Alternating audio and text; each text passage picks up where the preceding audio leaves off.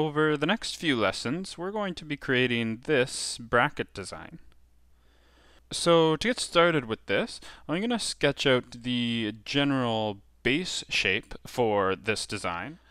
So I might start with a sketch that looks something like this. So let's take a look at how we can create a sketch like this from scratch.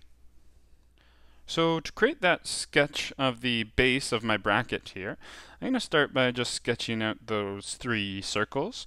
So I'll throw one about here, one about here, and one about here.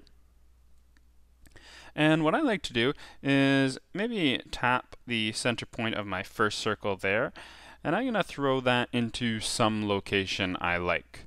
So I like to move it right onto my origin point, and I don't necessarily have to do this. This is kind of just a personal preference of mine. I like to throw it in a location that makes sense to me, and a lot of times that might be using the origin point. So when I'm happy with that, I could then lock this circle in its location. So I could just tap that lock. And now I've locked the center point of this first circle onto that origin point there. I might also want to give a radius value, so I'll tap on the circle and change the radius value, let's say to be 10 millimeters or so.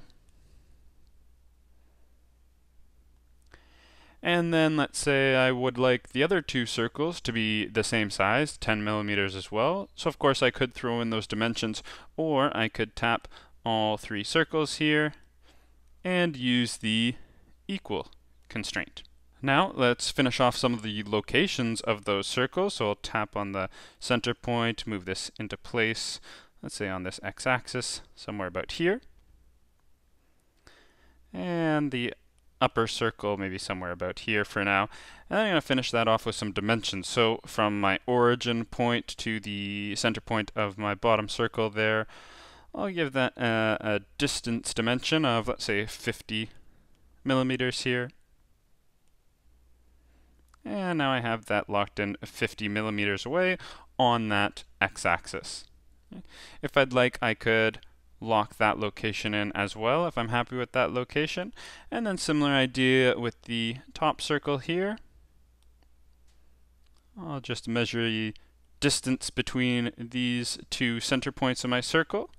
And let's say I am looking for the absolute, so I'll tap on that distance again. I had the ability to give absolute dimension, horizontal, or vertical dimensions there. But I am going to look for an absolute dimension and make this 50 millimeters. And then I'll tap the two center points on these two circles here and give the same 50 millimeter distance. So now my third circle center point should be locked in as well just from the constraints and dimensions, but if I'd like I could tap the lock icon to lock, lock that in as well. And now we've fully defined all the size and locations of these three circles. Next, I might just throw in some arcs, somewhere about here, somewhere about here, and somewhere about here. And notice I might not make the arcs perfect in this case. I'm just going to get them close to where I'd like them. And now I can throw in some tangent relationships to help finish it off. So for example, this arc and this circle, I'd like to be tangent. Same with that same arc and this bottom circle, tangent.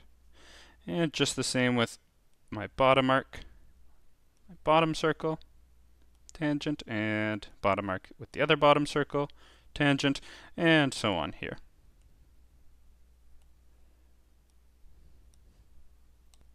So now I can see I'm getting pretty close to my final sketch there. I might just want to throw in some radius values of these arcs. So I can tap on, let's say, my bottom arc there. And I'm going to give this a radius of, let's say, 50 millimeters again. Finally, perhaps I'd like the radius of all three arcs to be equal, so I'm going to tap to select all three of my arcs here and use the equal constraint. So now I've pretty much finished off this bracket base sketch here. And I might just want to clean it up a little bit using the trim tool. So I can just tap on the trim tool here and really just trim away any of these sketch segments I may no longer need.